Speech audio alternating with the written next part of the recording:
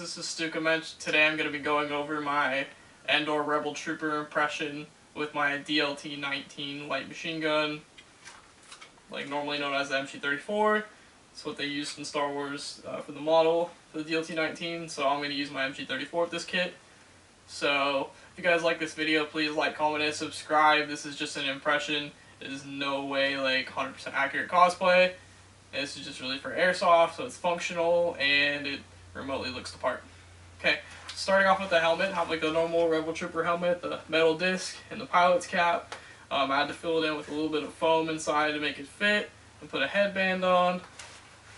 My gloves, I'm just wearing my uh, my German Fallschirmjäger uh, brown leather jump gloves. And then, I know this has a little too many loops right now, but I have a OD green bandolier, just like normal nylon, just like a shotgun bandolier. I don't have any thermal detonators or anything on it yet. For my jacket, I have the uh, the licensed Rebel Trooper camouflage jacket, the Endor Commando jacket. It's got a few patches here, some under here. I'm using a True Spec tan ripstop uh, vest for the vest. Um, didn't want to spend $120 on Etsy for one that looked like the movie a little bit more. As far as the belt goes, I'm wearing an OD green, um, just nylon pistol belt. Um, as you can see in the movies, like some of them have leather pouches, some do OD green pouches. And then I just added a couple OD green uh, utility pouches to it on each side for magazines.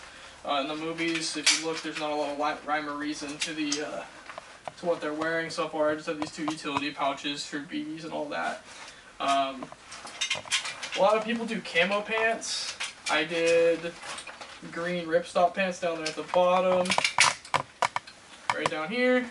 So I have just a normal, um, I think they're true spec uh, ripstop pants. A lot of people paint them camouflage like in the movies, but I kind of looked more for like the Star Wars Battlefront kind of look. So they're more solid colors as opposed to camouflage.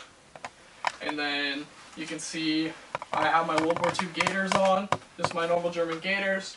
Um, most people do tan boots with this impression. I just went with black, black jungle boots. Um, overall, it only cost me a couple hundred dollars to do.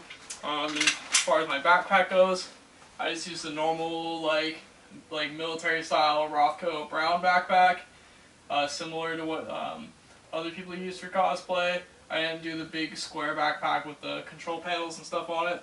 So that's about it. If you guys have any questions, leave them in the comment sections below.